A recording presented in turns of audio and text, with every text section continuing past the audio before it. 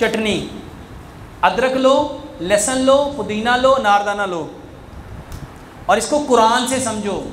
कुरान में अल्लाह ताला ने फरमाया जब जन्नती जन्नत में जाएँगे उनको सबसे पहला जो मशरूम मिलेगा वो क्या होगा?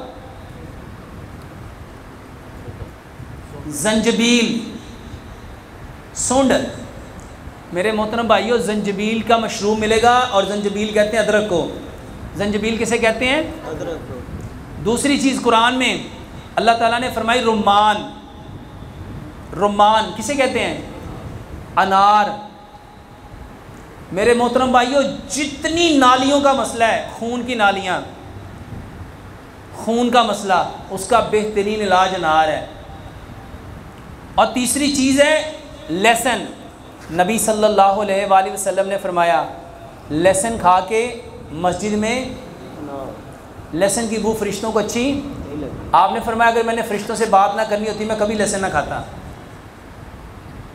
सॉरी मैं लहसन ना छोड़ता। लहसन में सत्तर बीमारियों की शिफा है। पूरी दुनिया में खून को पतला करने की यही तीन दवाइयाँ हैं। और जितने लोग दर्दों की दवाई खाते हैं, वो खून को पतला करती हैं। वो खून को तो जितने लोगों के कमर में दर्द है, जोड़ों में दर्द है, हड्डियों में दर्द है वो अदरक, लहसन, पुदीना, नारदाना बराबर मकदार में लें। हसबे जायके इसमें सब्ज़ मिर्च मिलाएँ। नमक, शमक कुछ नहीं डालना।